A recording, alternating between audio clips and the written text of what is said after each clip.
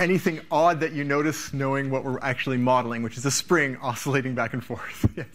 Why does it increase? Why does it increase? Exactly. This is not realistic. This is saying if I let a spring go, it's actually getting wider and wider swings. We are generating energy for free here. Seems a little fishy. Any guesses as to why this might be happening? We saw something similar last week. Yeah, the error. The fact we don't agree with reality, that means there's an error. We know there's error in Euler's method because it's following a straight line for every interval when really things should be curved. So this is a product. This is error. This is a result of things not being exact. How could I reduce the error really easily right this second? If I went back to my script, how could we very easily at least reduce the error from what it is right now? N. Increase the number of intervals. Exactly. Use smaller intervals, use more intervals. Exactly. So we're going to boost n here. Let's say at 1,000. And before I do it, I'm just going to look at how bad this was. We started at 4, and we ended up having oscillations that were like 10 or 12 high. So very clearly wrong. So we'll save this and run it. And we'll put a close all at the top so we can see our graphs next time. There we go. Oh, okay. That looks more sane. So the issue was error, and we know the error gets reduced when we use more intervals, smaller intervals. Those are dots, remember? That's not actually a connected line, so we have a lot, a lot, a lot dots, lot and lot and lot of dots here. It's still not perfect. We can see here that we're actually going up to about 4.6, 4.46. So we are expanding, we're just expanding less quickly or badly. So it's a closer approximation. Of course, there's a better way to fix this problem to reduce the error specifically. We're not going to fix it completely, but at least make it smaller. That's not using more intervals. It's working smarter, not harder. What could we use instead of Euler's method that's more accurate? Joins de Heun's method, exactly. So guess what we're going to do next? We're going to convert our ODE Euler system to an ODE Heun's system, which has, by what we saw last class, a lot lower error and better error when we do more work.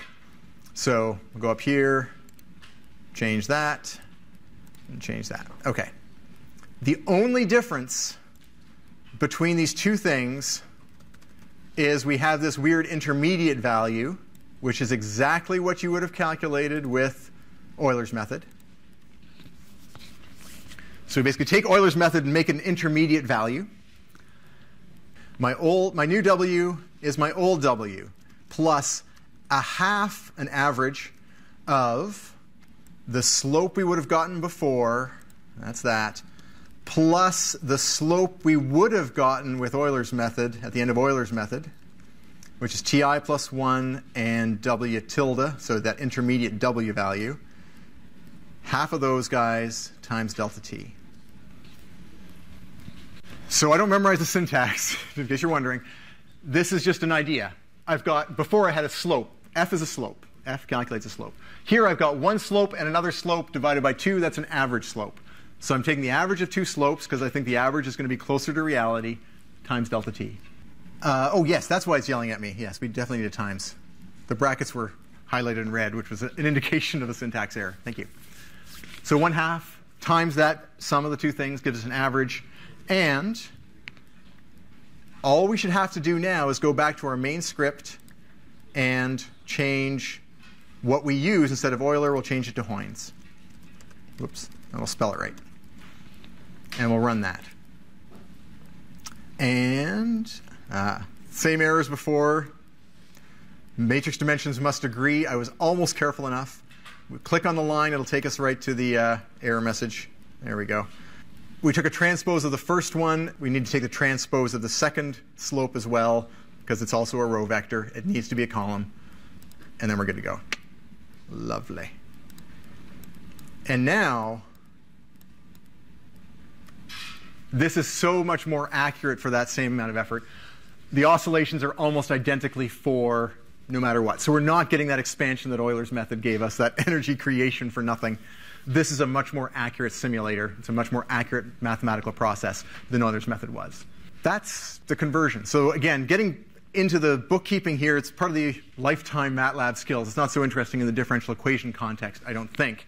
But just being able to negotiate those kinds of errors around ah, transposes, what am I filling in? If you have that approach, it'll make everything you do later on in MATLAB easier because you're thinking like the computer is thinking, or at least recognizing when there's a problem, what it might be complaining about and how to figure out what it thinks is going wrong. So in case here, matrix dimensions must agree. Print out what you're trying to add and say, why does it think things are not the same size?